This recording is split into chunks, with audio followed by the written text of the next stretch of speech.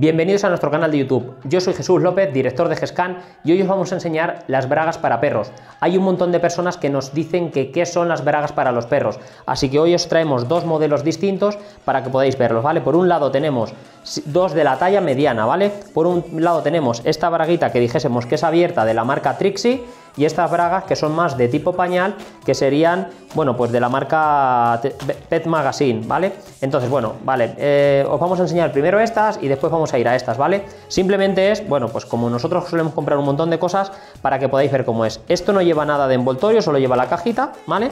Entonces, si abrimos la cajita vemos que esto viene así enrollado y ya está, ¿vale? Es una telita bueno, que lleva doble forro para que lo veáis, va bien cosida, ¿vale? Por todos los bordes, así que eso nos va a garantizar que sea bastante resistente.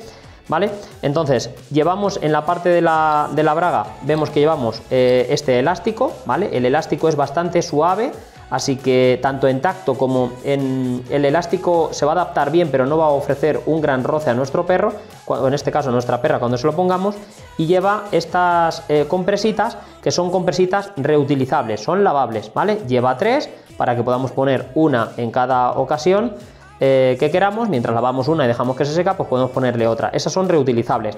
Luego hay compresas desechables, que os las vamos a enseñar después, pero en principio lleva esto, ¿vale? Esto lleva un forrito de cuero, que es agradable al tacto para que no irrite las zonas de nuestro perro. Aquí debería ir la vulva, por aquí entraría el rabo, ¿vale?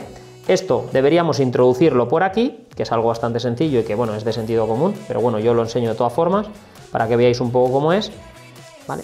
Y entonces esto se abrocharía y ya sabéis que aquí pues ajustaríamos un poco para nuestro perro. Recordar esto es talla eh, mediana, aquí iría la, vulva de nuestra perra, ¿vale? Sacaría por aquí el rabito y se ajusta bastante bien. Esto es una braguita abierta, ¿vale?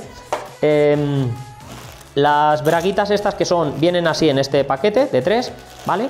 Eh, de la marca de Pet Magazine.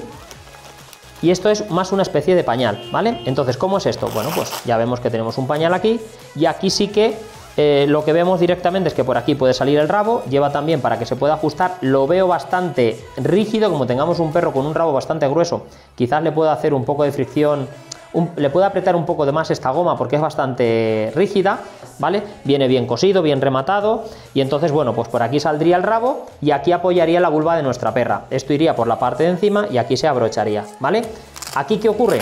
Bueno, pues que esta parte de aquí es una parte acolchada y la, vulva apoyaría aquí para que eh, las gotitas de sangre cayeran aquí, ¿vale? Entonces aquí no hay ninguna compresa que podamos quitar para lavar, sino que caería aquí.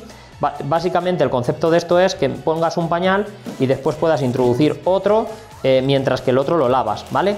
En teoría es sangre y a nivel de higiénico pues puede dejar seguramente alguna mancha porque la sangre no es que salga eh, especialmente bien, pero tampoco creo que tenga mayor problema que ese. ¿Podríamos introducir aquí una compresa lavable? Eh, digo desechable, perdón, claro, se podría introducir sin ningún problema, ¿vale? Si tuviese un buen adhesivo se puede introducir. Entonces no queremos cansar más con esto, simplemente queremos que veáis esto y si queréis ver las compresas desechables, le pinchéis a este vídeo de aquí que os las vamos a enseñar.